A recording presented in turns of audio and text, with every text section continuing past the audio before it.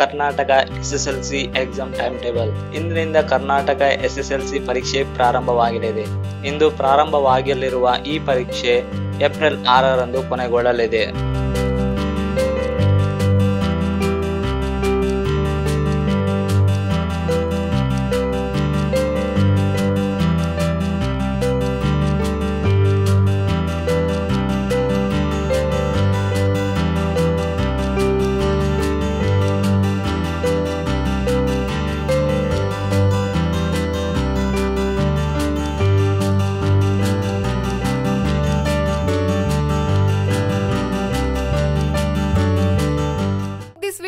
ಬೇಗ ಲೈಕ್ ಮಾಡಿ ಕಾಮೆಂಟ್ ಮಾಡಿ ಶೇರ್ ಮಾಡಿ ಹಾಗೂ ಯೋಯೋ ಟಿವಿ ಕನ್ನಡವನ್ನು ಸಬ್ಸ್ಕ್ರೈಬ್ ಮಾಡಿ.